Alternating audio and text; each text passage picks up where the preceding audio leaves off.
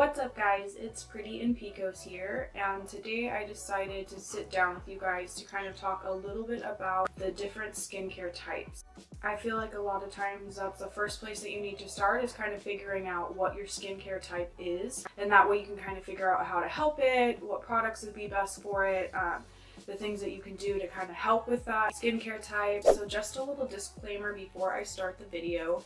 I wanted to let you guys know that just because you don't have these characteristics doesn't mean your skin isn't oily, it doesn't mean it's dry, it doesn't mean anything in particular. These are just the generic versions of the skincare type. So the first skincare type I'm going to talk about is oily. So a couple characteristics of people with oily skin, their skin is going to look more shiny, they're going to have more enlarged pores, their T-zone is going to be really oily, they could be more acne prone. Those are definitely things that you'll see more in the oily skin type. Big indicator for having oily skin is that your hair and scalp are more oily as well. So you definitely have to wash your hair more often if you have an oily skin type. So a couple essential oils that I found were really great for oily skin type are going to be things like frankincense, lemongrass, chamomile, tea tree oil and rosemary oil as well. So all of these things are really going to help with oil. They're going to help balance the skin. It's going to help kind of heal the skin. I'd say that my favorite out of all of those would be tea tree. I myself use tea tree in the bath. I use it in my hair. I use it on my skin as a spot treatment.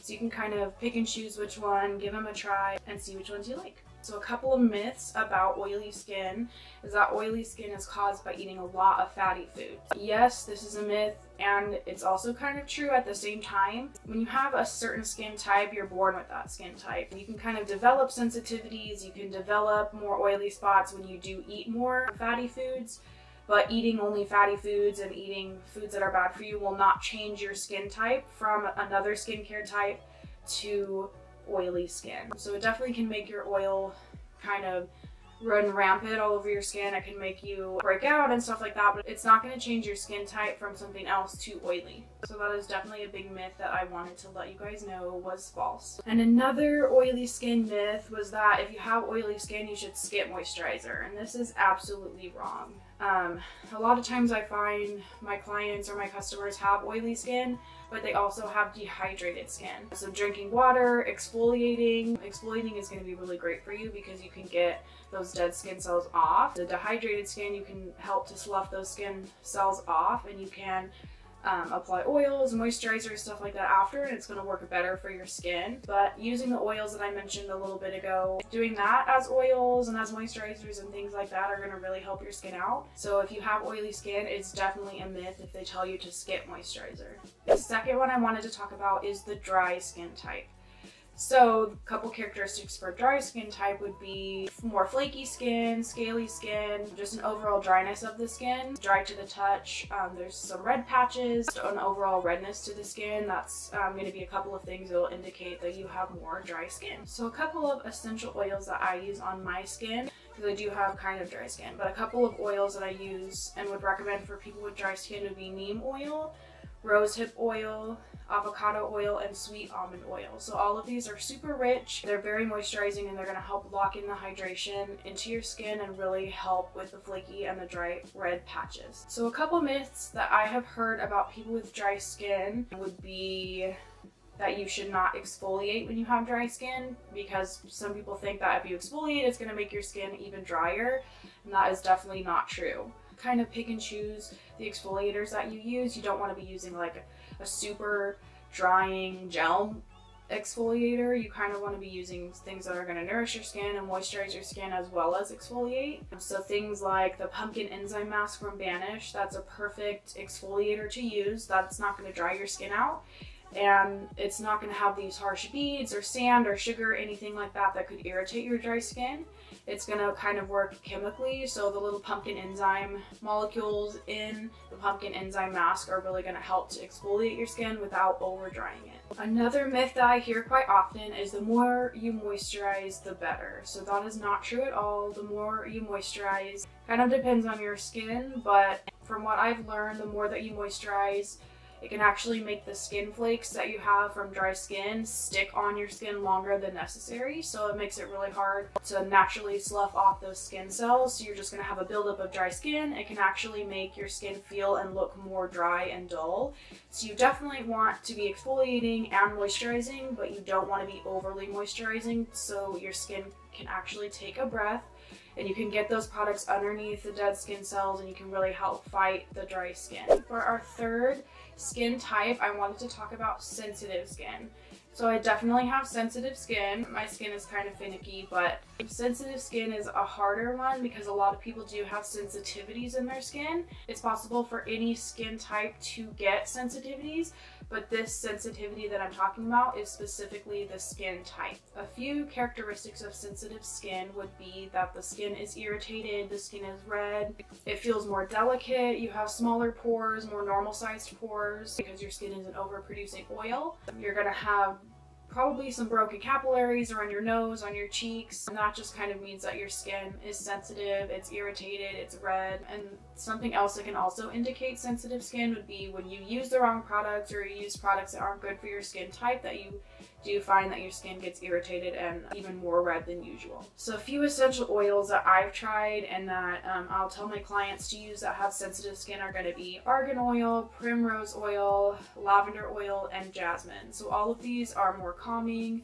They're not as heavy oils. They're very soothing on the skin. They're going to help heal your sensitivities and really help to dull down the redness and kind of just soothe your skin. And especially oils like lavender and jasmine, they're to really help de-stress you as well because I feel like people with sensitive skin, sometimes a lot of their sensitivities and their redness can be caused by stress as well. It just shows up more easily on people with sensitive skin because your skin is already uh, has a pinkish tone to your skin so I feel like having that kind of aromatherapy and that spa-like feel is really going to help those people with sensitive skin. A couple of myths about sensitive skin is that only people with dry skin have sensitivities in their skin.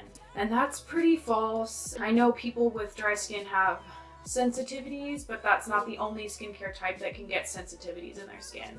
People develop sensitivities due to their diet, their environment, even using like overly harsh acne products, like for people with acne and stuff like that, you could definitely develop some sensitivities in the skin. So saying that people that only have dry skin are the only ones that get uh, sensitivities is definitely a myth. And then another myth that I heard about sensitive skin is that sensitive skin is only caused by allergies. So this is a myth due to the fact that allergies can cause a skin reaction. It could definitely cause some sensitivities, but is not going to take you from having a dry skin type to having a sensitive skin type. It's definitely going to be there since you can remember it's going to be something that you're born with. So having allergies can definitely affect your skin, but it's not going to change your skincare type from dry to sensitive or from oily to sensitive. It definitely can its effects on you, but it's not going to change your skin entirely. The fourth skincare type that I wanted to talk about is combination, and it's the most common skincare type there is. So a few characteristics about that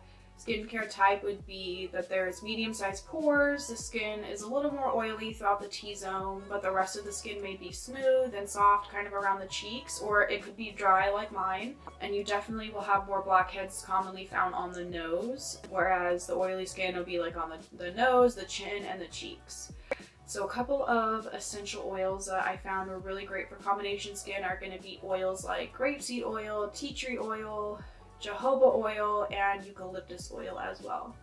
So all of these are going to be antibacterial, they're going to be smoothing, they're going to be really great spot treatments that you can use on your oily parts of your skin, as well as like the grapeseed oil will be great for any part of your skin. A lot of these are pH balancing. They're going to really help fight the acne. They're going to help fight the oiliness, but they're not going to overly dry your skin. A myth that I thought you guys would find interesting about combination skin was the fact that many people think that having combination skin is going to make it really hard for you to find skincare, and that's actually not true. Combination skin is the most common skincare type, so there is a lot of skincare out there for people with combination skin. You actually get to play around a little bit. You can use products for more oily skin, you can use products that are good for dry skin, you can use products that help with both. You can kind of get the best of both worlds and really soak yourself in oil and make sure you're exfoliating and doing fun masks and doing stuff that other skincare types might not get to do just because you do have a little bit of skin from each type. So the last skin type that I wanted to talk about is normal skin type. Normal skin is kind of a harder one only because it's the most rare.